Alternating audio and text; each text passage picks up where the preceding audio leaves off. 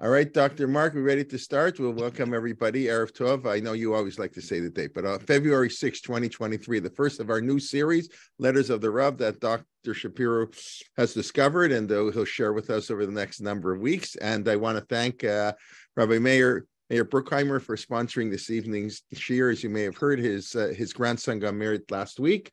At Tzvi Silver to Rivka Grob. We want to wish him Mazel Tov. Have many happy occasions. All have many happy occasions, and thank you for uh, sharing your simcha with all of us. Okay, Dr. Shapiro, it's all yours.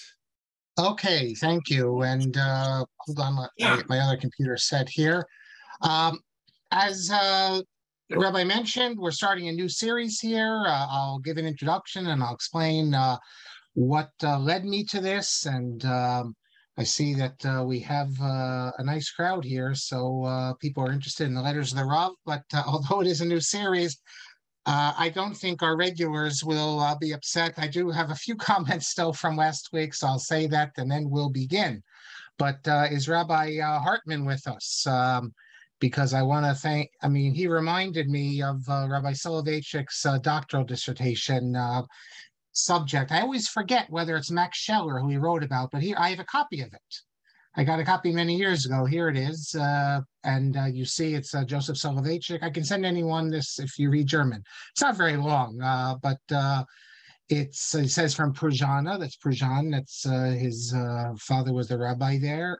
Uh, no, his father was the rabbi in um, uh, that's where his uh, mother, his uh, grandfather was, uh, right? I forget now as well. Wait a second. Uh, he, his father was in Rasain and Chasavit. So why he calls it Prajan, that's from his mother's side, I'm not sure. Maybe it has something to do with the politics. Uh, that's sort of Eliyahu Prajaner, the uh, Feinstein. And it says the, the oral exam is on the 24th of July and the date of promotion is the 10th of December in Germany, you had to publish your dissertation. You just would take it and you'd find a, uh, a little publisher. Now, um, I'll get back to, well, uh, I'll talk about uh, my archives uh, and the things I find and how I came to the letters. But one of the very first things I found was um, when it was still East Germany, I found from the University of Berlin all of Soloveitchik's uh, materials, his um, his uh, the evaluations, uh, letters of his, evaluations from his professors, his diploma even. And um, I, I, learned also then not to give my stuff away because uh, um, Manfred, I gave it to Manfred Lehmann. And you could read his uh, article, uh, online, it was in the Algemeiner Journal, uh, rewriting the biography of the Rav. And it's a whole thing there, but I'm never mentioned. And yet everything I gave it to him because I had met him and he asked me. He never told me he was going to publish it. He published it without mentioning me. He even says um, at the bottom here, um, the Rav's diploma in Latin. Yeah, he says the fact that this, that his information is still housed in Berlin where I got the copy, which is not true. I gave him the copy. And, uh, you know, it's, uh, I was a kid then, and uh, what did I know? I gave him this stuff. I thought uh, that I'd get some kavod. He'd write in the Algemeiner about me uh, and something. And so now I, uh, that was my, the, the, first example of things I discovered. And I'll tell you all about what I discovered and how I came to the letters. But uh, I have all these things and um, I can talk about them as well. But I, I want to share a few other things uh, with you just before we begin because they're related to last week. First, we spoke about the pioneer. And actually, those who are with me, I took out in the audio the, the comment that we all heard because I don't think it should be on uh, for um.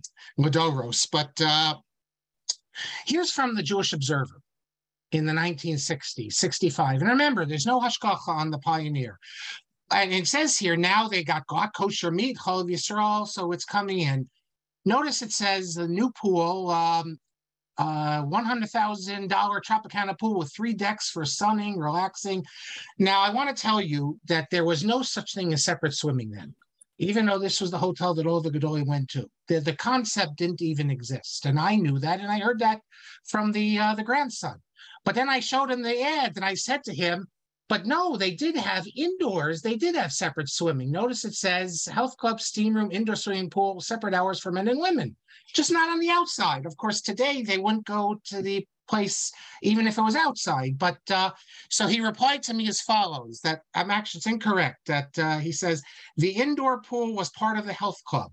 It was very Russian. No bathing suits. So that's why uh, at the Pioneer uh, it was uh, separate swimming.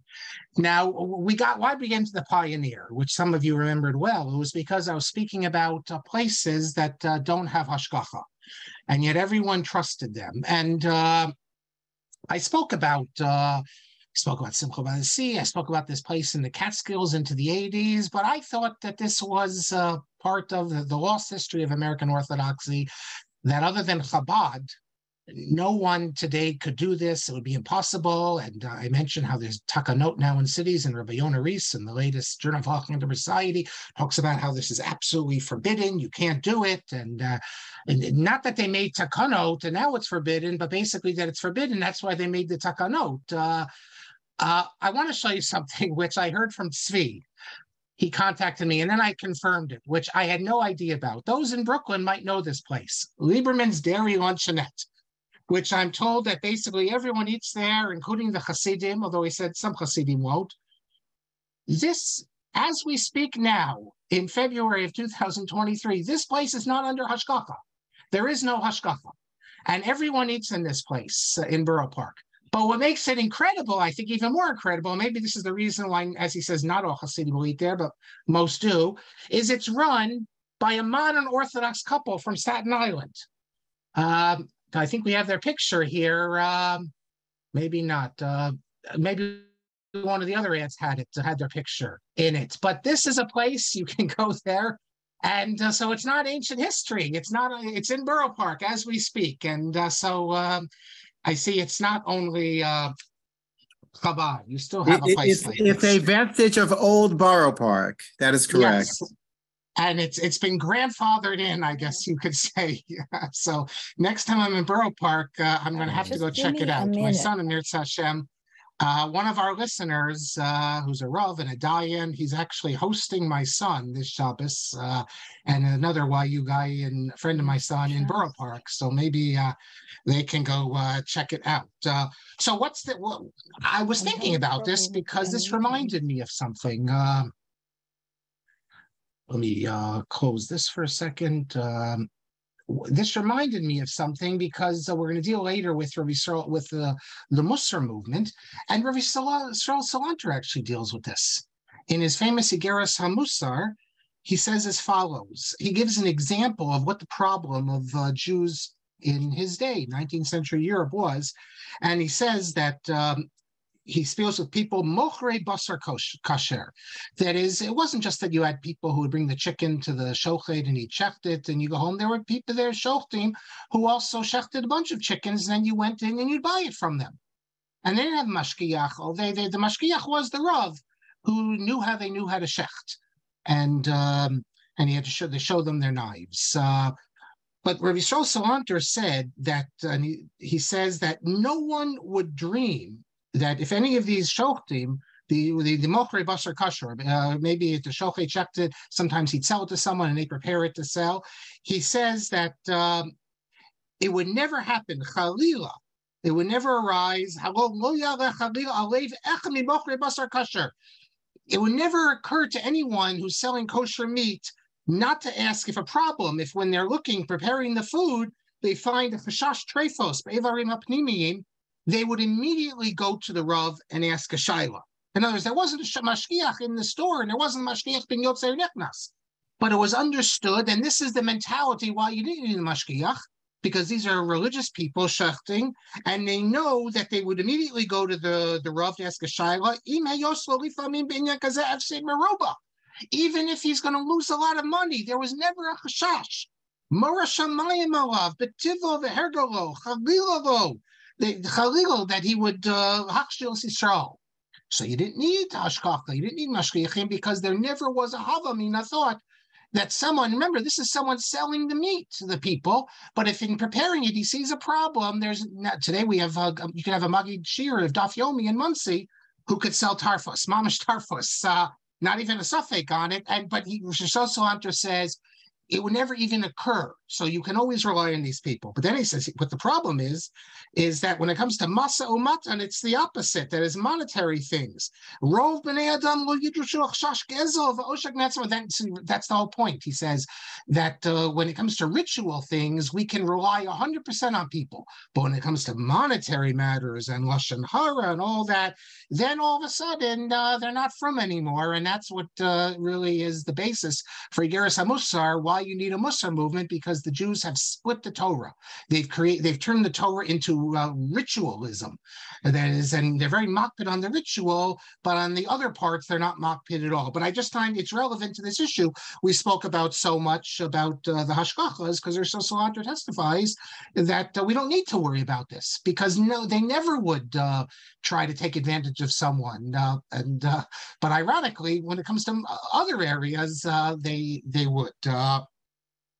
And finally, that reminds me. I mean, today if you see someone going into a place that's uh, maybe not up to the level of kashrus, and certainly if you saw someone going eating in McDonald's, he would definitely you would not regard him as orthodox, but uh, he could be serving time for hundred years in prison for uh, ripping everyone off, and yet when he gets out of prison, they'll give they'll have a whole uh, sudas mitzvah pidyon shvulim for him. So uh, I think we might need Rabbi Sol again uh, to stress these matters. And one final thing before we begin with Rav Soloveitchik, um, I, I feel I need to, to the, the great Bernard Drachman. I, I need to, um, in fact, I didn't even show a, a, picture of him. So let me hold on, show a picture of this um, great individual. A um, well, there's many pictures, but let me um, hold on. Uh, let me show you. Here you see uh, Bernard Drachman. That's the famous picture of him. You see him when he's uh, a little younger here. Uh, a very important uh, Orthodox figure. And I said, and I, I told the story that he was uh, given the money from Emmanuel to go uh, the Reform Temple to go study in Germany. And uh, he was studying actually in a school of theirs, that like a high school. Um, but I said he can't. His, I think I said he had reform background or something. It's really not true. He didn't have reform. He had um, uh, the way he describes his family, it's, um, I guess you would call them traditional, but not orthodox. Like he says, for instance, uh, his, they kept a kosher home. And he says that on the high holy days, our store was closed. So on Shabbos, it's open, but it's closed on the high holidays. But uh, there was uh, on Pesach, they didn't have any leavened food. He says, I can't claim that our home conformed in every way to the precepts of Orthodox Judaism, but it did so in large measure. So um, he's a He's like an old fashioned uh, East European Jew, uh, where uh, they're not Shomer Shabbos and not exactly Orthodox, but not Reform, not uh, and they had a kosher home, which a Reform family wouldn't have, uh, and he could have gone the Reform route, but uh, he he didn't, and he actually becomes completely what we would call Orthodox. So I apologize for any descendants of Rabbi Drachman, perhaps, for implying that, but it wouldn't have been a problem. I mean, it would have been even a, a, more amazing story if he actually came from a, a complete reform background and uh, became who he became.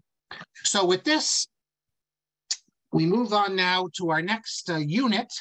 We've been doing this now uh, since the beginning of COVID. Uh, I think this will probably be three classes. Uh, I don't think more, but if it goes to four, it's okay. Uh, and um, this is the letters of the Rav that I found and published in the last issue of Hakira.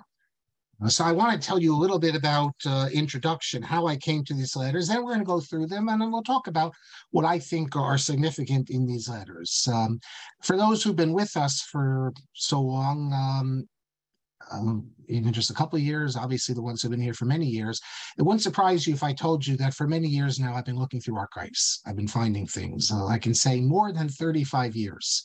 I've been uh, involved in archives uh, archives of individuals, archives of institutions. I've traveled all over the world for that. Fortunately, I was able to get funding from various places. Uh, my book on Rabbi Yaakov Weinberg couldn't have been written if I was doing it today because half the letters are, are go, gone or lost. But I um, I was able to go to people's children and people, and they let me into basements and look. And I found Baruch Hashem many things, and I published some of them. If you go on my academia page, you academia page, you can find uh, some pieces from um, this new this journal that comes out of Flatbush called Hamashpir. It's an annual, actually. I published some. I, I published uh, pieces dealing with Frankfurt Orthodoxy, uh, with the rug from the Rogatchover archive. Oh, lots of stuff. Uh, I think maybe um, my next Hebrew volume is I'll collect all or a lot of the letters. I have hundreds and hundreds of unpublished letters of Gedolim, and I could put them in a nice volume. So that's uh, for the future. But for now, um, let's talk about the Rav. So I never ended started looking for things from Rav Soloveitchik. But as I'm looking through archives, here and there for the last 35 years, I would find a letter here, find a letter there, and I uh, I just kept them, and I have a nice file. And uh, lo and behold, just last year, for some reason, it hit me. Uh, why don't I publish these? Um, the reason I thought that is because uh, I um, had found, I also have some articles, believe it or not, from Soloveitchik that he published that no one knows about. I mean, it's they're, they're published, but they've been totally forgotten. And um, I will be uh, revealing them in, soon enough. But I one of these things I found, uh, tradition, a few issues ago, uh, published. Uh, I I had a transcript of sorts of a talk the Rav gave at one of the Mizrahi conventions, and and I was preparing it actually for publication. Uh, it, it was in Hebrew. Someone tra- transcribed it in Hebrew, although he, he gave the talk in Yiddish. Uh, lo and behold, tradition actually got a copy of the Rav's actual uh, manuscript from the house, and they published it.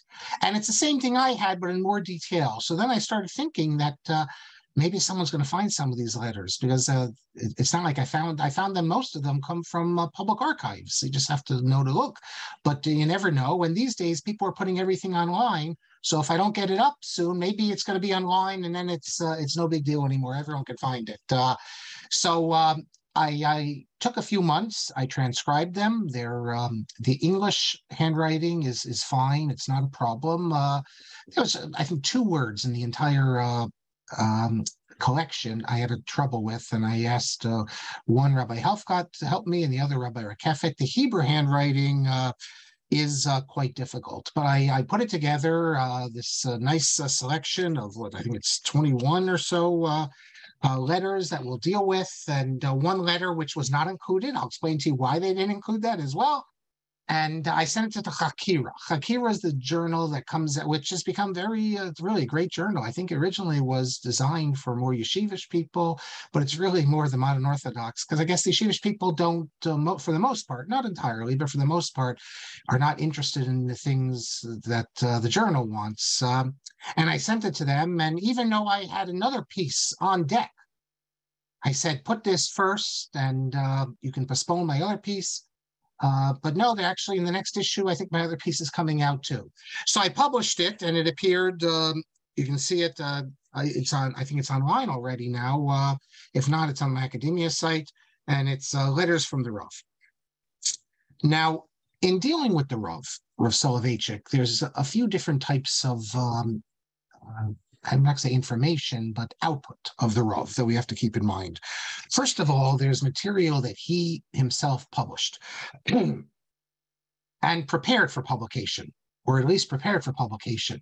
Uh, there's essays that he wrote, and then uh, volumes of uh, halachic articles, which were included in volumes. The Shiurim was Echer Abamari, uh, which um, he was able to supervise, and um, Lonely Man of Faith, uh, halachic mind, uh, which he prepared, although it appeared after his uh, death. Even the halachic man, the translation was prepared um, uh, under his uh, supervision. And those are obviously the most significant, the most, uh, if you're trying to judge Rav Soloveitchik, what his outlook is, his view on certain matters, that's the most important. And then we have public lectures and essays uh, prepared for publication by other people. But uh, these are public lectures, and maybe we have a transcript of that, or the Rav's notes, uh, or even the Rav's uh, actual text, because he would write out things. He'd write it out. Often the speech he ad libbed. So if you look, I'm going to give you an example in a few minutes of something where we have a tape of the Rav, and it's not identical to uh, what uh, he has written down. But basically, it's so we it's the same idea. And if we don't have tapes of it, we have that, and that was prepared. If the Rav was preparing for publication, uh, he would have expanded in certain areas, but we don't have the Rav, so uh, we have that. Um, then we have, um, I would say, uh, letters. Um, a lot of letters. Now, how are you going to judge the significance? We're going to see examples where there's contradictions. When you deal with someone like the Rav, who was teaching every day and speaking to people and sending letters, and you're trying to set up a, uh, um, let's say, uh, a portrait of him and what he believed, sometimes you're going to have contradictions. So you're going to have to judge uh, the relative significance uh, of the material. Obviously, what he himself wrote and published, that's the most important. Letters are not as important as that. And if someone writes says something in a private letter but says something publicly, I think uh, we, we, will assume that at least in his public persona, that's his position. But the private letters are important because they show you the thinking behind the um, behind the stage, as it were. And um, if you have an, a, a, real contradiction between the private letter and the public statement, it could be that the private letter is actually more important. The public statement could be made for political reasons. The private letter could reflect uh, personal sentiments that, for one reason or another, can't be made public. We'll we'll see some examples of it. It's hard to know. The least, I think, everyone would agree, though. So we'll have a debate over the significance of private letters versus public statements. This goes back to the issue of of Weinberg also. Uh, what do you do when you have contradictions between the private letters I discovered and the public statements? But I think everyone would agree that what we call table talk, off the cuff comments, even in Shiur, when he goes off, uh, that that is not as significant. It has to be put aside when faced with, let's say, private letters when because when you write a letter you think about it and you put uh, your mind into it to say it. The same thing with a public statement obviously when you publish something. But what do i mean by uh, the um, the letters uh, the public table talk statements? I mean a book like this the Rav thinking aloud. Transcripts of personal conversations with joseph b soloveitchik fascinating. But uh, I, you know, the Rav was like everyone else. He could have an offhand comment. I don't think that uh, you need to pay it that much mind if it contradicts what we know about the, what the Rav said elsewhere. On the other hand, we have examples, for instance, his view of Yom Ha'atzmaut. Uh, you have here a 40, 50 page uh, transcript of a of a lengthy discussion to the shiur in which he even responds to criticism from the students, uh, that would obviously be more significant than uh, off the cuff uh, comments. I don't know if this book will be reprinted again. There was, although people like Rabbi Meiselman on the right wing were very happy with it, uh, the mainstream followers of Soloveitchik were very uh, upset with it. They didn't think this is the sort of thing that the Rav would want uh, made public, even though some of the things they're upset about, he said, with a huge tape recorder, not one of these little ones, one of these old fashioned giant ones sitting right on his desk. He had to assume that that would be made public. But um, uh, there, they, they reprinted a second edition where they took out uh, a couple things, uh, and I don't know if they'll reprint it again. Uh, but uh, it was put out by uh, uh, David Holzer, Rabbi David Holzer, who was a shamash uh, very close to the Rav. The Rav was very close to the Holzer family. The father, Emmanuel Holzer, was one of the Rav's closest friends. Uh, so you can't. Um, uh, and and I uh, I spent a whole Pesach with the Holzers at the hotel I go to. You certainly can't accuse them of uh, trying to create some Haredi image of the Rav or anything like that. So it's a complicated issue, which maybe we'll go into another time. In terms of uh, the drushos of the Rav, I just want to share one thing with you before we begin. We have two volumes of Yiddish, thanks to David Fishman, Professor David Fishman of JTS, um, expert in East European Jewry and Yiddish. He put out this volume, Drushos und Ksavim, from um, I forget the year already, 2017. And then um, in 2021, I think it is, or uh, uh, or 2020. Actually, hold on, it has an English title page. Let me see. 2021, he put out this volume, uh, Vegan Shiva Siyam and Kiyam Ha'uma. Drushos about uh, return to Zion and uh, the existence of our nation, all his religious Zionist talks. This, incidentally, this picture which I published on the Seforim blog. I don't know if you could see it well here. You can see it on the Seforim blog. It's a picture in a painting of the Rav in Rabbi Julius Berman's house. It's hanging. It's a huge painting. I went to interview him once, and I see this painting, and I said, "Can I take a picture of this? and then can I publish it?" And he let me publish it. So if you want to see this amazing picture, um, um, now I forget how he got it. Uh, someone wanted to, to, do a painting of the Rav. I don't think it was Berman, and, and then uh, Berman asked, "Well, the Rav didn't know what to do with it." So I think I think that's the story. I um, I forget the details. If some of you know uh, Julius Berman, you could uh, fill us in. And so it's hanging there. Um, one of the drushos in this book, um, drushos from Kesavim, is the um, but first, let me tell you, you learned something interesting from the introduction that one of the drushas here, a drush on tzedakah, was given to the uh, the workman's circle, the Arbeter Ring. Uh, this is not exactly a religious group, but the Rav uh, gave that. Furthermore, he gave a drasha. One of the drushas we know he did. It's it's not here, but it's mentioned in the introduction that he gave a drasha was uh, before Yivo. And on page uh, 22 from the Farverts, uh, um, Fishman quotes what they're saying here, how amazing it is that a grandson of Rav Chaim Brisker uh, is speaking to us. Uh, Rav Chaim Brisker, who was so uh, uh opposed to the uh, uh, who we are. you have a grandson of Rav Chaim Brisker. Uh, Rav Chaim Brisker's Enikel had those Suzagan. He's he's speaking to us, so that's amazing. But what you have here is the famous drasha of uh, the Rav at Chinuch Atzmai. And uh, we're going to speak about Chinuch Atzmai maybe today because uh, there's one of the letters. And then I'll speak about uh, that there's a difference between the drasha here and what I'll show you that you can listen to uh, online. Let's let me put this aside or, or hold it here and let me uh, let's begin. By the way, also one final point that um, um, I was a little nervous uh, to publish this. Uh, it's not like Rabbi of Weinberg, no family, uh, descendants, uh, no descendants to uh, speak about, uh, but uh, Rav Soloveitchik has. Uh, so I, I sent all the letters to Professor Chaim Soloveitchik, and he gave me permission happily to publish uh, all this. I think it's the only time where, uh, and I'm very grateful to Professor Soloveitchik. We had a nice correspondence where he reflected a little bit on some of what's there. So these letters are authorized, if that uh, means anything. Uh, uh, okay, so let me begin. Um, and what I'm going to do is is just uh, go through the letters, uh, each letter, tell you about the background, what I find significant in the letters. And letters one through three are written to Rabbi Mordechai Kirshblum. Mordechai Kirshblum was a religious Zionist leader in America. In 1952, he's head of Mizrahi. He's elected head of Mizrahi of America. So obviously, he's very close to Rav Soloveitchik.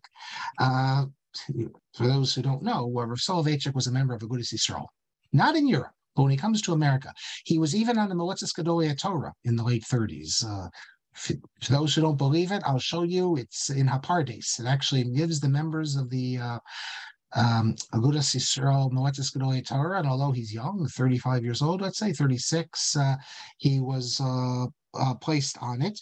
But uh, then um, after the Holocaust, uh, probably during the Holocaust, his uh, ideas begin to change. After the Holocaust, he identifies uh, uh with Mizrahi, and uh, he was the star speaker. I have some good pictures, which I found also, of the Rav speaking at the Mizrahi uh, conventions. He was their star speaker, and uh, so obviously in very close uh, contact with Mordechai Kirshblum. Uh, Kirshblum was also uh, appointed to the Jewish Agency Executive, and in 1968 he moves uh, to Israel, uh, where he continues his religious Zionist activities. now, the first letter is from 1956, and it already is going to complicate uh, our portrait. Uh, the thing about the Rav is that he's a Zionist, but I hope I don't offend anyone by saying he's the most non-Zionist Zionist uh, you can find. That is, whoever heard of a Zionist who never went to the state of Israel? I mean, it's uh, and. Um, whoever heard of a Zionist that everyone who told him that I want to go on Aliyah, he said, don't,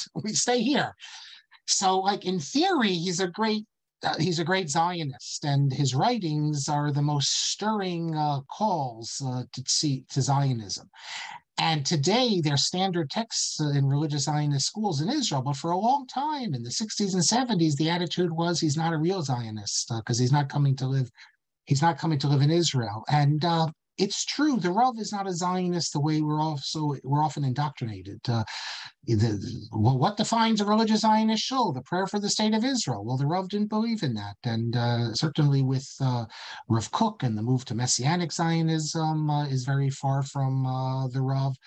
So a lot of the ideas that uh, we take for, we assume are essential for religious Zionism, uh, the Rav didn't share it. And you can see um, in uh, thinking aloud uh, when the students of uh, Yeshiva University on, on, did a special like uh, Haftorah or Hallel service, I forget all the details. And Yom Ha'atzmaut, the Rav goes crazy, and he can't handle it. And he's saying this is nonsense. And nonsense. This is what uh, the chief rabbinate says to do. This is what uh, religious Zionists, Gedol Yisrael, have said to do. A special prayer service. So the Rav is a different type of Zionist. Um, um and now and we, we we see and could he have been i mean we he had some hesitations how could he not his grandfather was Chaim Brisker.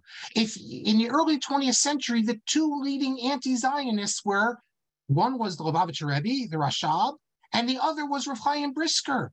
The stuff Rav Chaim Brisker, Rav Chaim Brisker said you can't even be alone with the Zionists because we have to worry about uh, Shefichas Damim, that they could kill you.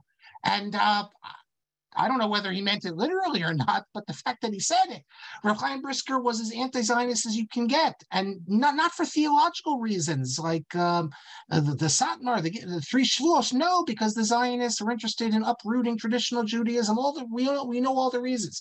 So for the Rav, for someone from and, and his uncle, his uncle was like Neturei Karta. For someone, the Rav, with that yichus to become a Tzioni, uh, to become a Zionist. That needs an explanation. That's uh, why his. Um, that's how he can hold. It's not that he, he's not going to say I changed my mind. How, who's he compared to his grandfather? If you know how he viewed his grandfather, his his grandfather, he viewed him as the the, the greatest uh, Torah scholar. He had a Havana. He said greater than the Vilna Gaon. So he could not say that I think my grandfather is wrong. What he said is that Hakadosh Baruch Hu that's the Joseph and his brothers. God himself decided for us. If it was just um, the Rabbanim, of course we have to follow Zaidi. Uh, but no, HaKadosh Baruch Hu himself poskins in this area that Mizrahi is correct. So if the Rav didn't have moments, and I think what you see in the Rav thinking loud is these moments before he gets dressed and puts on his tie and goes out and presents himself the way he is, a religious Zionist, you can be sure that at nighttime when he's thinking, he has hesitations. He wonders, is this the proper path? And uh, and I think that's why these comments, these harsh comments that you see when he really uh, lets his hair down and uh, lets loose to the students, these these non-Zionists. I won't say anti-Zionists, but he's definitely not. He, he sounds like he's Rav Kotler coming out of Lakewood. Some of these comments, uh, I think that's what you're seeing a reflection of, not the thought-out positions of the Rav, but um, something that's deep down that he sublimates. And we see a little of this here. What's the what's this first letter? Well, uh, he mentions his daughter Tova, 1956. I don't know Tova, but anyone you could show her the letter, you can ask her. I'm sure she remembers. He says, I very much, I appreciate greatly your efforts on behalf of Tova and her friends. I was very disturbed and indignant when I received a phone call from Tova advising me that the El Al people were trying to persuade her and other passengers to board the plane in London on Friday. So um, Tova and other American Orthodox uh, youth, uh, um, I guess, um, in those, I don't know if she's a teenager then. I don't know when she's born, 56. Um, if that's, um, yeah, I think, um, so I don't know, but uh, uh, either a teenager or 20, whatever, when she's born. Uh, so they flew to London, and obviously there's a delay. And there's a problem here because uh, the next leg of the flight uh, is to Israel. And El was telling them that they should get the kids, the religious kids, get on the flight and you'll make it for Shabbos. And Tova calls her father. And um, you know, here you have uh, El Al's official Israeli government at the time, it's not private, uh, telling people something, which of course is going to lead to, to Chilul Shabbos. Uh, and this annoys the Rav to no end. Uh, quote, I resented the deliberate attempt on the part of El Al officials to mislead a group of sincere boys and girls and to place them in a precarious position in which they would have been compelled to violate the Shabbos. So we see from this that they didn't violate it. Obviously, they didn't. Uh, maybe the, the Rav probably said, uh, "Don't listen to them." And uh, you, someone can ask Tova, "What happened?" Maybe they flew uh, Sunday, whatever it is. Uh, and the Rav says the El Al officials knew very well that it was impossible for a plane which is supposed to take off from the London airfield on Friday noontime to land in Lydda, Israel, before sunset. You know, Lydda, that's before Ben Gurion Airport. It's Lud Airport. Uh, nevertheless, they kept on asserting that such a miracle of Kefitzas Haderech was possible and quite probable. And they repeatedly assured, he said, the people that uh, this they it would land in uh, in time. By the way, these this letter, um, um, you know, I didn't, this letter I found in the Central Zionist Archives in Israel. So I went to the Central Zionist Archives. I sat there for a long, long time. They're not online yet, uh, and I found it. So, um, and then he says, what is it at the end of this paragraph? Such false predictions reflect a cynical and brutal disregard for religious values, which is so characteristic of the officialdom in Israel. We, it's hard for us to imagine today when you walk through Jerusalem. I was in Jerusalem a few weeks ago. I mean, you walk in Jerusalem, it's like it's uh, it's not true. It's I don't know if it's half is, uh, but uh, there's certainly many people in Jerusalem who are not Shomer Shabbos, and they created now the um, you know the first station and you see friday night but sometimes when you're walking in jerusalem you get the sense that everyone everyone is religious there and it's a very but in the 50s yarmulkes would be not just in the minority it would be hard to find yarmulkes i already mentioned that religious people working for the government felt they had to remove their yarmulkes to have religious people in the army look who now is uh, just appointed chief of staff a nephew of Rav Kook. uh, great nephew of Rav Kook, and uh, religious people were in all high positions in police, in army. I mean, this would have been unimaginable in the 50s. And we know, we all know what the, the officials of the labor government, what they were doing for the people who went on Aliyah, what they were doing with the Yemenites and the Sfardim. And so obviously things have changed a great deal. We have to put ourselves back into the 1950s. And but and just after blasting what's going on in the state of Israel in, in, with uh, the officialdom and with El Al, the Rav says as follows to Kirshblum. Now remember, the Rav is head of Mizrahi here. Um, he this did not stop him, as we'll see, from publicly clashing with Israel. We'll see later about the shipping line and other things. The Rav could uh, clash publicly with Israel, but some of the things uh, I don't know if he'd say publicly. He says to Kirshblum that you know my emotional and intellectual involvement in the sacred cause of Shivat Zion. That's what makes the Rav Zionist. The idea that we return to Zion, we're called to return. And he says, My relationship to the state of Israel, he sees it as a miraculous grant of infinite divine grace to a martyred, abused, and persecuted people. He's saying to him, You know that I think the state of Israel is the greatest gift that God has given us. Elsewhere, the Rav says that if not for the state of Israel, the Jewish people, it just would have led to complete assimilation. Because after the destruction of the Holocaust, there was nothing there for us. We needed this. Uh, we needed God to give us. And he says that you're also aware that whenever zealots and bigots tried to create imaginary religious issues, and he says, and I felt that they were doing this because of hatred for the state of Israel, I stood up and protested.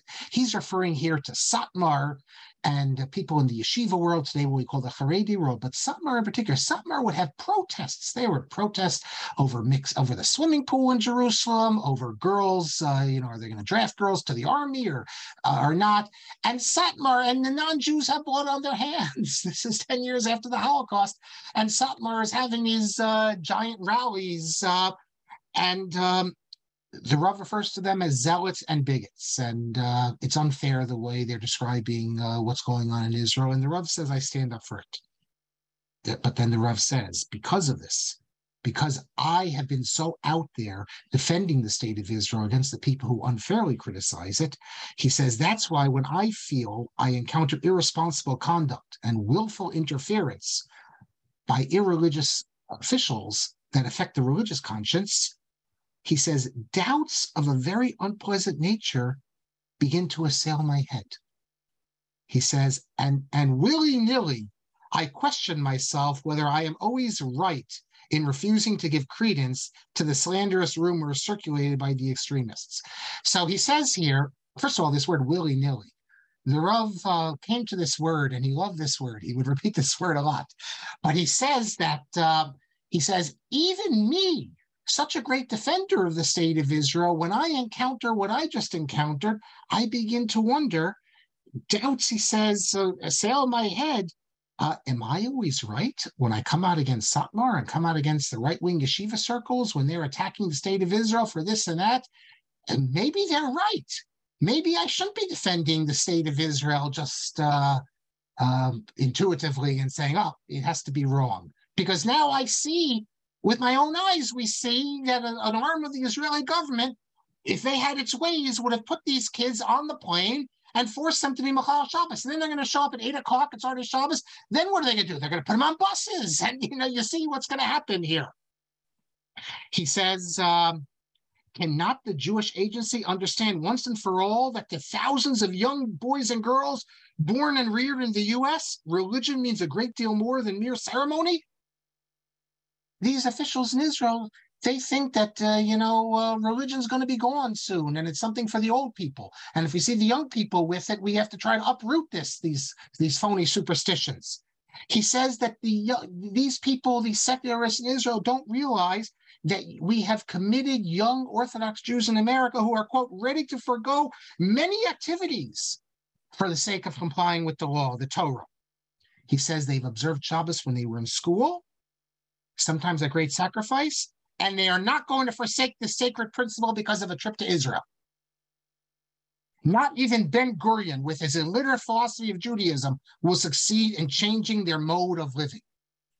So I mean, it's uh, these are strong words, with and even stronger from the head of the uh, the honorary head of uh, Mizrahi in America, saying that we can't take this anymore and we can't cover this up. That uh, we can't make believe that these officials are not trying to uproot Torah in our young people.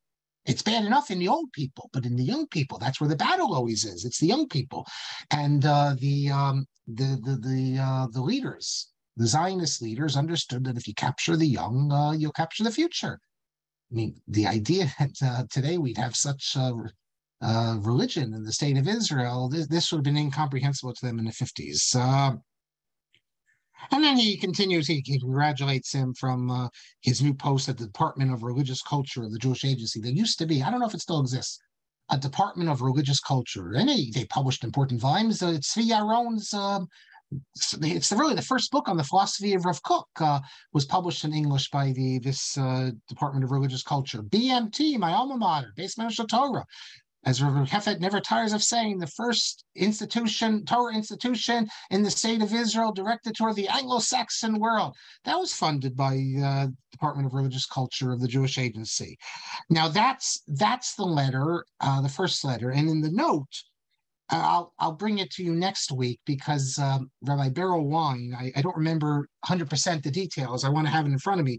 Berel Wein wrote a memoir called Teach Them Diligently. And um, I didn't get a chance to get it, but I'll get it for next uh, class. He also gives an example where El did not follow halacha and the Rav's response. That was always issues like in the 70s, as I recall, you know, flying on Shabbos, not flying on Shabbos, but that's a different issue.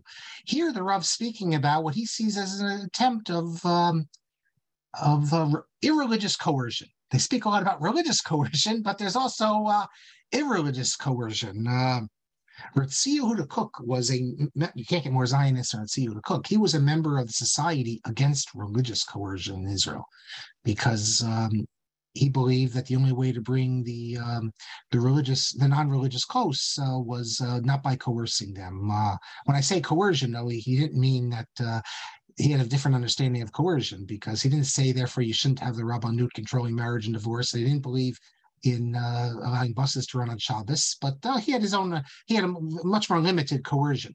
But uh, as uh, Ratzi Yehuda and many others never tired of pointing out, uh, um, if we say that we're against religious coercion, then you should be against irreligious coercion. There always was a lot of irreligious coercion uh, in Israel, also, and it pains me to say it. But uh, if you know the history, you know that when uh, Aliyat Noar, when they brought over, especially the kids from Morocco and uh, the people from Yemen, there was an effort there to indoctrinate them into um, irreligiosity, and that's just a fact. And uh, and that was battled um, the, the religious parties battled about this and governments fell you know on this. But this goes back already to the 40s to the, the tehran when uh, the, the kids kids the who survivors of the holocaust who made their way to tehran and then they were brought to uh, palestine. The deal that was made between the chief rabbinate and the religious parties and the jewish agency was that kids from religious families would be placed with religious homes and kids from uh, irreligious families in Europe would go to irreligious homes. And lo and behold, they discovered that kids uh, who in Europe uh, and who now were rescued, who came from religious families, were being placed in irreligious kibbutzim, and uh, that's uh, that was uh, a big controversy. so that's that's letter number one.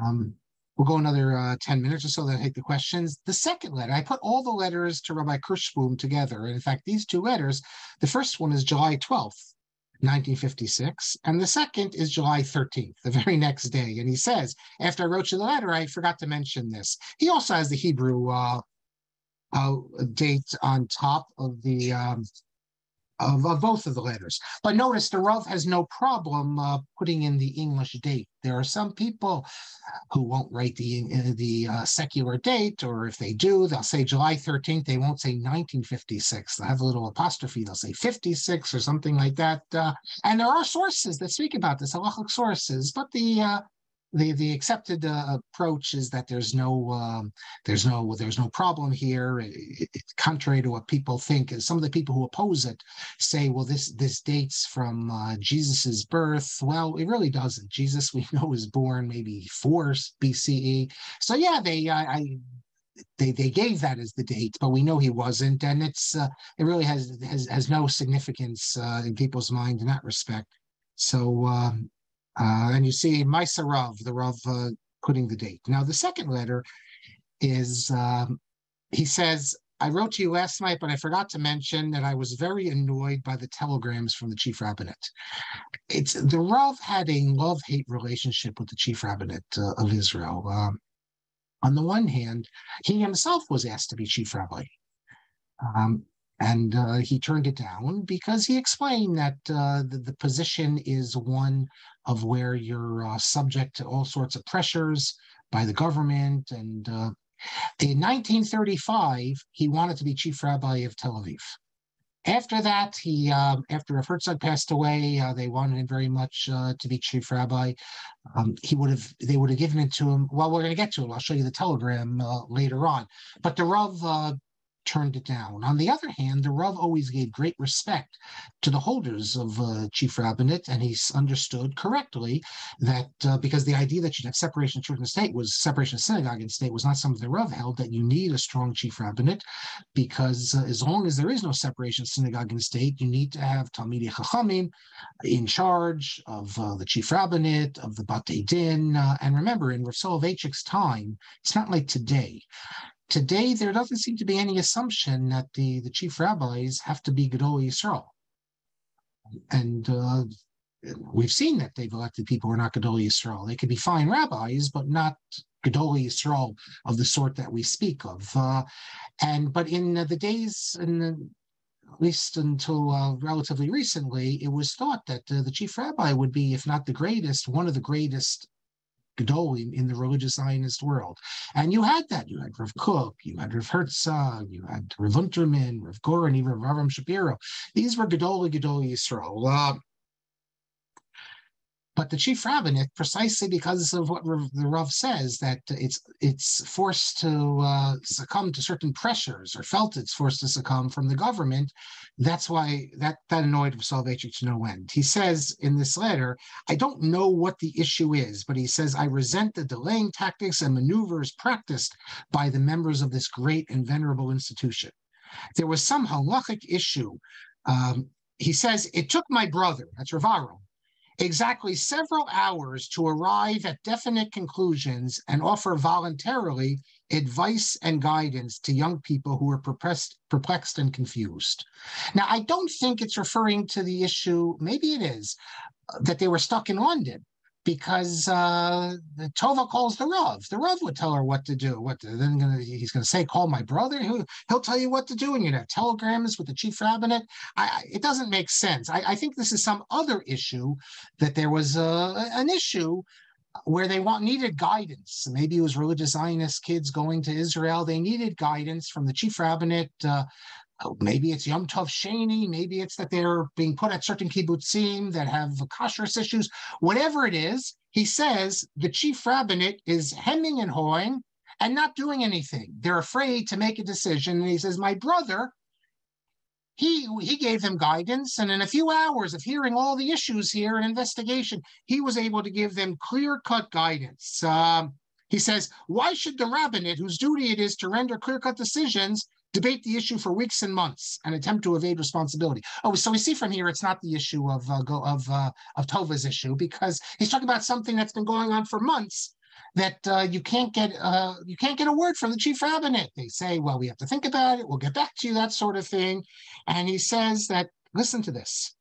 Um, in the future, I am not going to cooperate with the chief rabbinate, since it is beset by fears and ludicrous cowardice.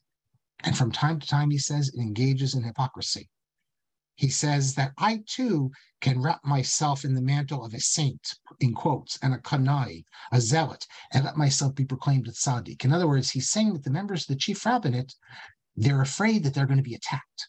If they give a halachic decision, someone's going to attack them, and they're worried, they're looking over the shoulders, and the Rav says that uh, I too can claim to be a, a saint and a kanai and not give a decision, and no one's going to attack me then. But that's not their responsibility. Their responsibility, they were given this position and they have to make the decision. And if making the decision means that people on the right are going to attack them, well, then uh, that's their responsibility. Um, and he goes on uh, criticizing the uh, the chief rabbinate. Uh, the um, um, harsh criticism, which he would not have made public.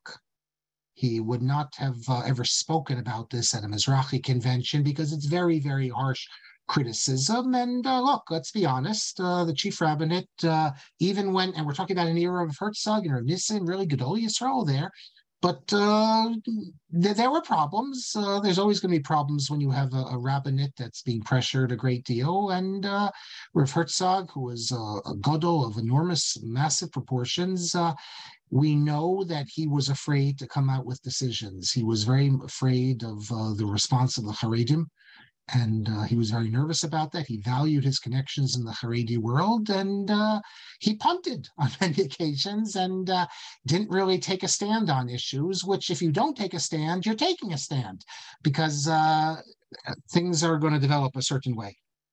Now, the the the last part of the letter, um, the last paragraph, is is interesting in a different respect. Uh, remember, I told you Kirshblum was appointed head of this Department of Religious Culture, and he says to him that you know I I hope you can put it on a solid educational basis.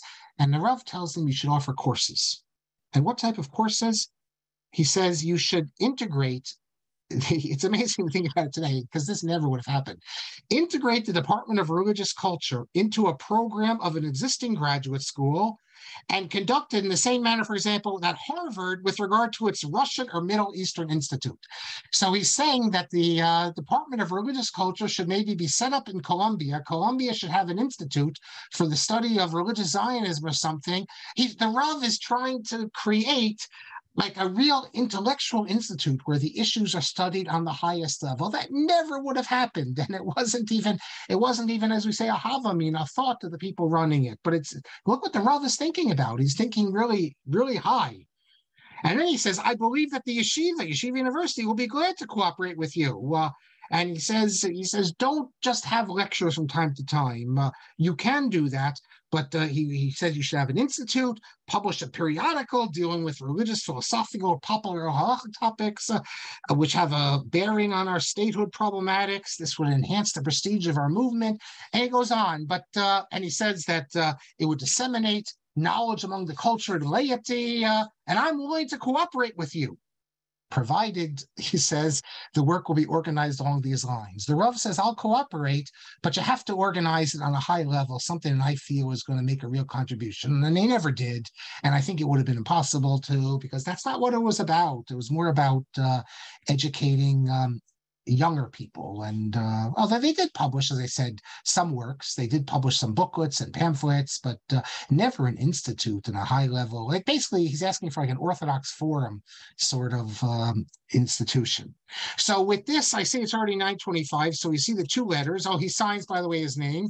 Sincerely yours, J. Soloveitchik. Uh, in the first letter, it's Joseph Soloveitchik. Uh, when we get to the uh, the Hebrew names, it's uh, it, it's interesting. Uh, you'll you'll see some things. We're actually going to skip letter three, and we'll pick up next week with letter four.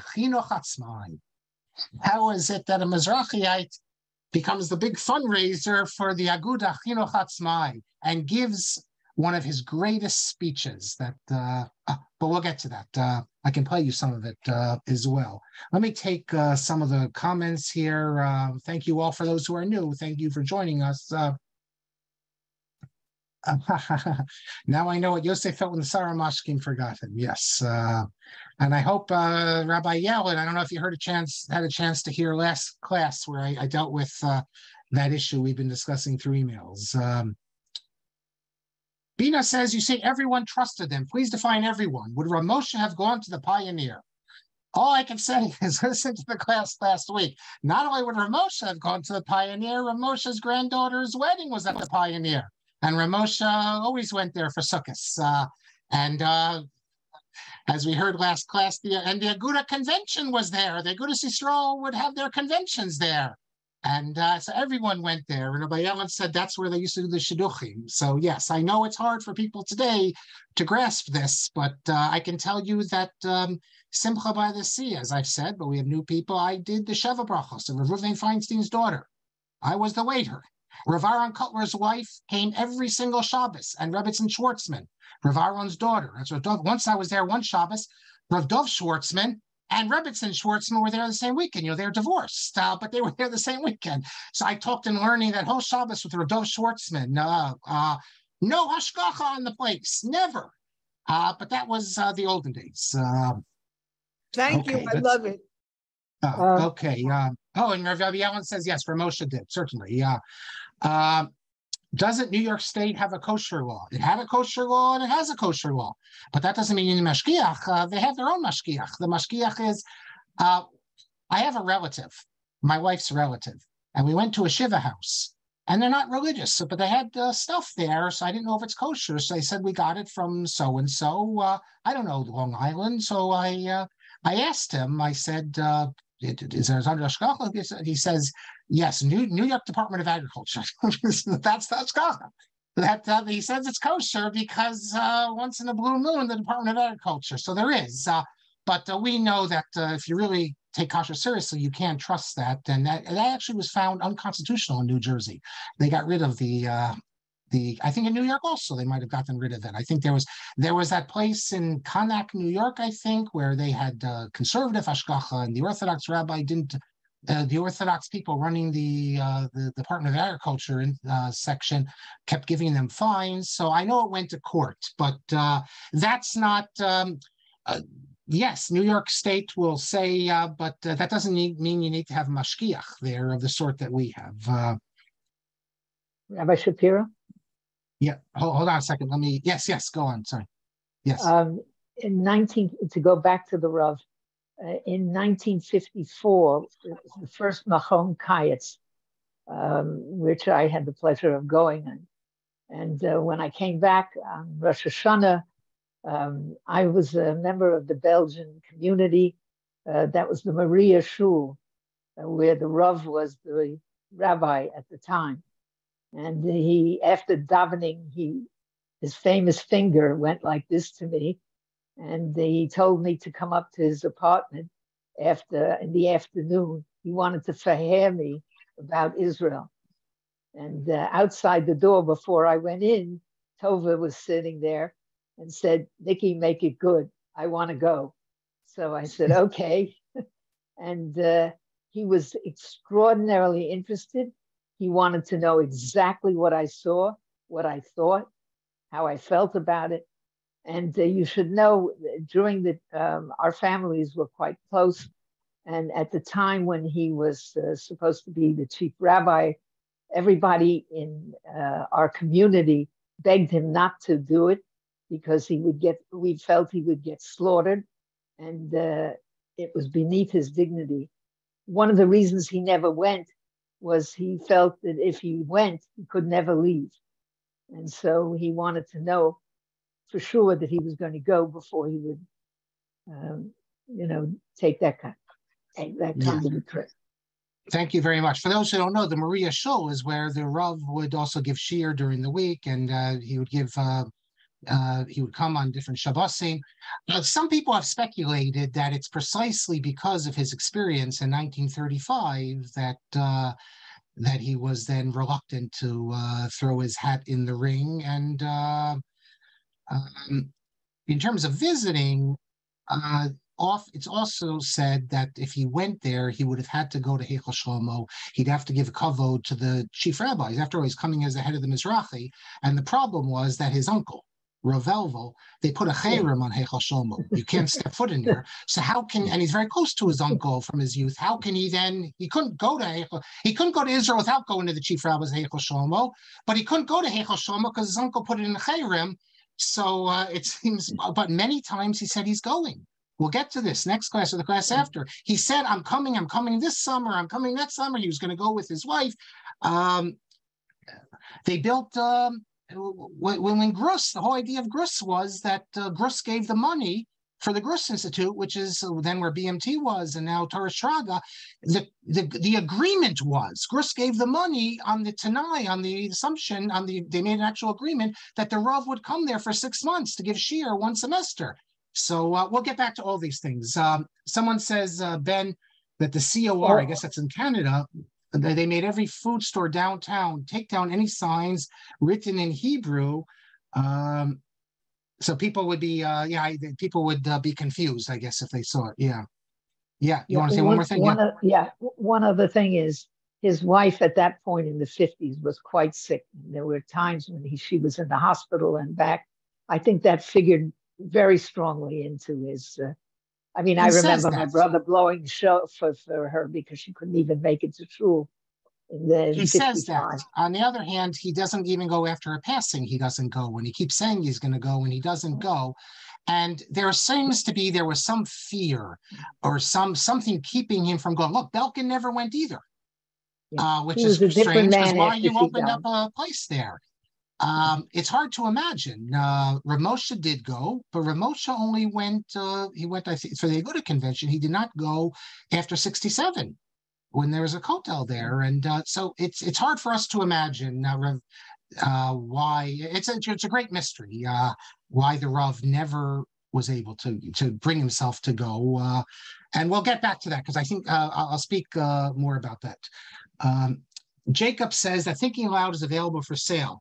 You can get a copy at the Well Used Furniture Sale, but you need to check. I think it's the second edition, the edition where they censored some material in it. Uh, but yeah, it's for sale. You can. They, the Holzers have a website where you can get not just Thinking Aloud. They did, uh, I think it's three or four volumes on Chumash. They put out a very nice uh, material there, and also one of the sons of um, uh, Rabbi David Holzer is an expert in publishing Rishonim. And also David Holzer in one of his sons published this beautiful Haggadah with pictures, medieval uh, manuscript with pictures. Uh, so there's a lot of good stuff. I think it's uh, holzerseforim.com or something like that. David Holzer also, he's he's a chemist with uh, patents. I mean, a brilliant family. David Eisen says, I assume the painting in Julius Berman's home was prepared from a photo as opposed to the Rav posing for the painting. You know, I'm going to get to the answer to this because I think I think otherwise. I think the Rav posed. I think his wife wanted him to, to do it. Uh, uh, but I will ask because I had I can't believe why I I, I don't remember, but I, will get the answer uh, for next class. Uh, um, and I'll, I'll, I'll share it, uh, preserve it for posterity.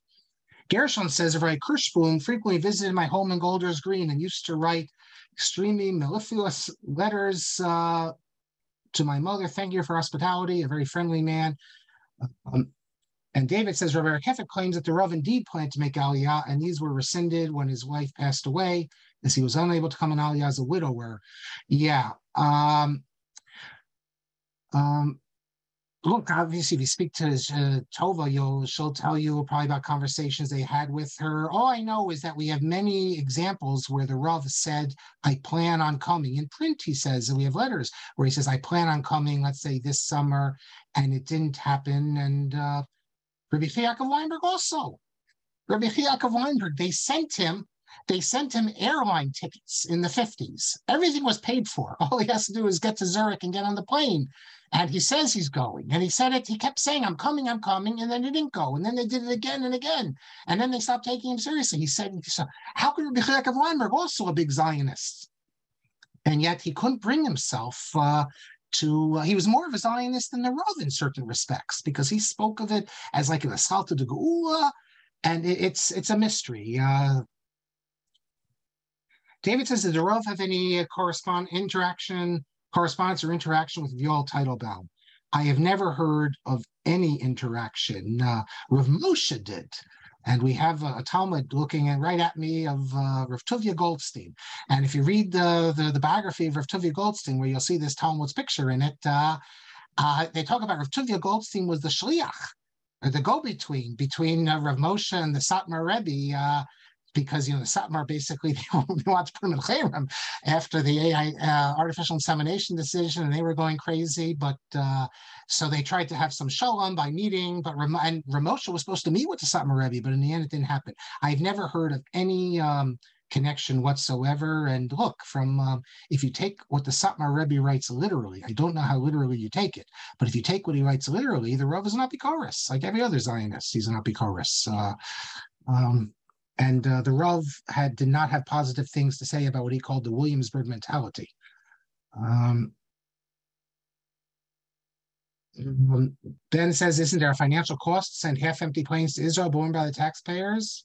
I guess there is. Uh, I don't know what. Uh, I don't know uh, if the planes were empty or not. I um, I have a guy in my department, University of Scranton. He's not Jewish, but he goes to Israel a lot because he does stuff about Jewish Christian relations. And um, I asked him because he's flown Friday night. You can fly Friday night or Shabbos. It's a very different flight. Can you imagine? No religious Jews on it. I'm sure there's a lot more empty seats, but I, I bet you there's also people, Israelis, who dafka choose to go on Friday night because then they don't have to put up with uh, you know, maybe the minyanim or things like that. Uh, I'd love to have a camera to see what it looked like uh, the the Friday night uh, flight, but I so I don't know if those uh, flights are full or not full. But uh, um, he told me that uh, they're not empty. Uh, Nissan says only Judaic scholars use CE as common era, as in uh, BC. That's no, no, that's not true, Nissan. Today, that's the politically correct term to use that everyone in the academic world uses uh, CE and BCE because that's the that's the the neutral term. Uh, so no one, no academic work or newspaper will will write AD or uh, or BC. AD Anno Domini, uh, you know, year of our Lord. Um, yes, and David says that the letters to Kirshblum were written um, during the nine days. Um, well, some people don't like to travel in the nine days, but everyone assumes that if you're going to Eretz Yisrael, you can travel in the nine days. And I've traveled all over the world during the nine days. I was in Hungary in the nine days last year, and a whole group of Hasidim were there. They were going to some kever right in western Ukraine. So uh, there's uh, there's technically there's no problem traveling, although some people don't like to. But there's no sources really that say that you can't fly in an airplane during the nine days. Uh, yes, Mel says you're right. The letters he calls it Bein Hametzarim. Uh,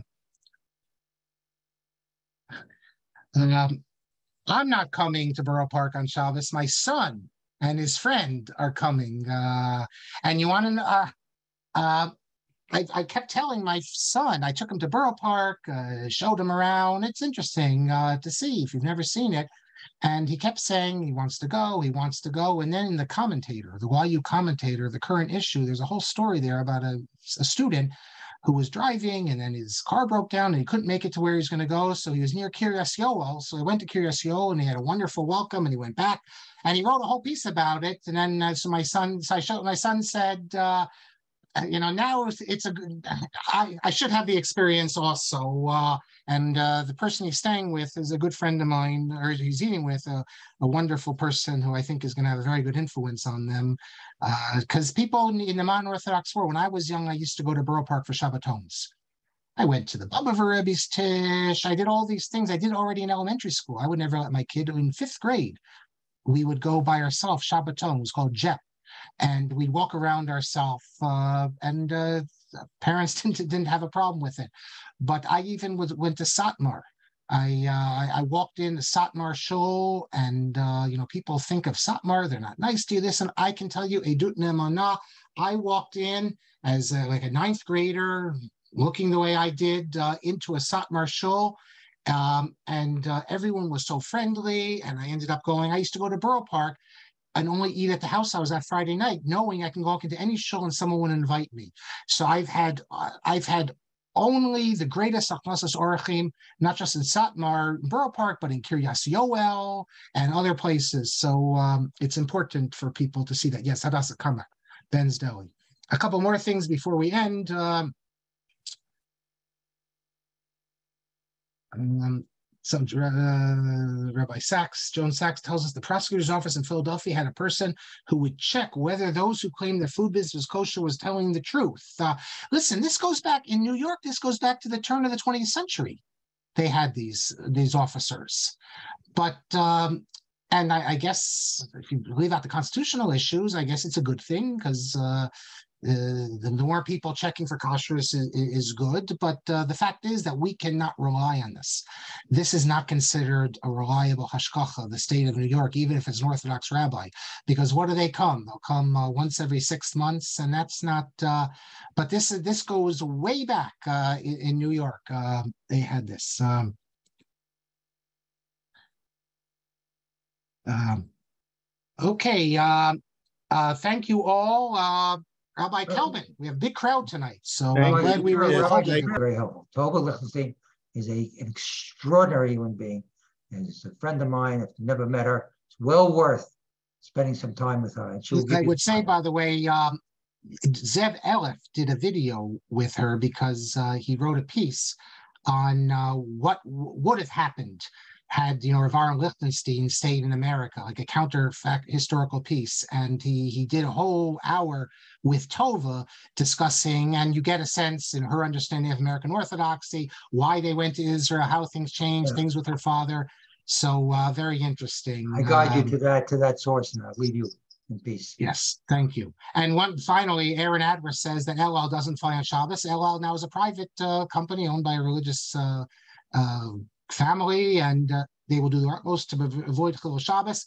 And his son, Eitan Adler, is a religious pilot for El Al. Keep on all shkoyach on that. That means I and I know another religious pilot, or I met another religious pilot, uh, not on El Al. So uh, I can now testify to two Shomer Shabbos pilots uh, that I know of, and I'm sure there uh, there are many others. So, Dr. Uh, Marc, just to, I didn't realize now, but that's of course Rabbi Adler, who was the Shamash of the Rabbi, living in Israel for many years, who wrote the book 70 Conversations. Is that who's listening to us yes, right that's now? That, because well, I know okay, his son. Well then, uh, I know his son is the pilot I, for I should say Rabbi Aaron Adler, so. who uh, look, my uh, Rabbi Adler, you can say hello if you want is, to unmute yourself. Is literary, although I was, uh, I did help drive the Rav the last year, but Aaron Adler, and I can say to Rabbi Adler that next article in Hakirah, I do quote a piece from your book from one of your uh, conversations with the Rav, and I recommended that book to everyone. And I, Rabbi Adler and I know each other for many years uh, uh, by email, and we've met once or twice. So uh, I thank you very much. And he didn't identify himself, but uh, thank you, Rabbi yes. I, Kelman, for um, identifying that in the presence of someone who knew the Rav very well. And not only that, has uh, we thank everyone is thankful because of his recent book in which he records those numerous conversations he had with the Rav, uh, which are the sort of table talk that I mentioned, but so enlightening and um, So uh, thank you, Rabbi Adler. I, I it's in Israel now, so Well, I know think he's David in Isaac America gets now up. for a But few months. if but you're in okay. America, Boker maybe Tov, that Boker explains it. Thank you. You are the in. Israel, Rabbi. I will It's say four- one quarter to five in the morning. Okay, you see, he got up early, but I will say a few months before COVID struck, we have Rabbi Adler the pleasure of having him in our house uh, here, in- here in Toronto, and he gave a talk. It was actually at my sister's house for Shabbos, but we gave a talk. He a talk Friday night, so it's not recorded. And when it was meant to be, I don't know, 25 minutes. It was like an hour and 45 minutes talking about stories of the Rav. And I, I told him at the time, we really have to get him to do this online. It was such a fascinating talk, just all the uh, personal connection, because he was the Shamash of the Rav for a number of years. Right, Rabbi Adler, I'm just uh, maybe one time we'll we'll get you to sort of But you know, but you know that they all have great stories. Holzer has great stories. Chaim Jachter has great stories. I mean, uh, these people had a big zechus that they were able to be close to the Rav. That look, I drove the Rav with Chaim Jachter just uh, in Boston, the Kollel. So I mean, I just had a couple of these interactions. But the people who were able to get close to the Rav, especially in his younger years, uh, it, it's it's a life changing uh, thing, and uh, I'm jealous of them. Okay, thank you. Okay, we look forward to next week. Just if I can, a couple uh, other announcements outside of the Rav now, just to let people know. I'll, I'll start with something that nobody knows because it was just finalized like five hours ago and not published. But uh, starting next Thursday, I believe, a week from this Thursday, Rabbi Adam Mintz will be giving a four-part series. He just came out with a book on the history of Eruvin. That was his, you know, PhD. Rabbi Mintz, he's going to give a four-part series of the history of Eruvin in North America, including one on the Toronto Eruv, of course, which uh, is a very interesting. Wait, let me just tell you, I've seen the book because I was in Dubai, and guess who was serving as the rabbi for a few weeks in Dubai just three weeks ago? Rabbi Adam Mintz. So that will be. Uh, he we'll brought the book with him.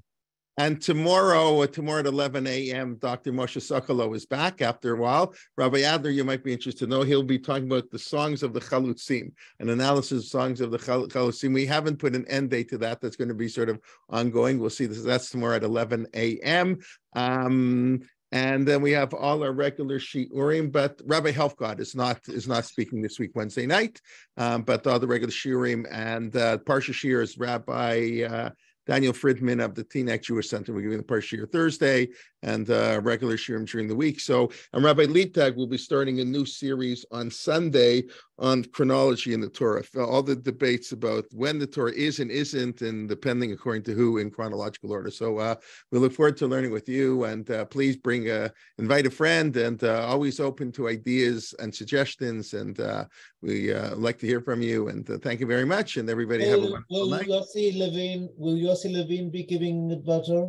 Yeah, yeah, yeah. No, Yossi Levine speaking, and I'm giving my class on the sitter, and uh, and Rabbi Schulman's giving a class Sunday. I, I, didn't mention all the regular shiur we have. Yeah, yeah, everything. God just mentioned Rabbi Helfgott's not giving his shiur this week, um, this week and next week. Uh, he won't be giving the two weeks off, but um, we'll have all our regular shiur. Yeah, so um, we, we we send them reminders before, but just to let everybody know. Okay, look forward to seeing you and learning with you all soon. And everybody have a Lila Tov, and uh, thank you very much. Lila Tov. Hi, Nikki. Hi, Nikki. Thank you. This was fantastic. Okay, everybody. Ashir Koloff, thank you so, so much. Okay, I think Dr. Marc left, but I'll uh, pass along the thanks and uh, thank you. Thank you for joining us. Okay.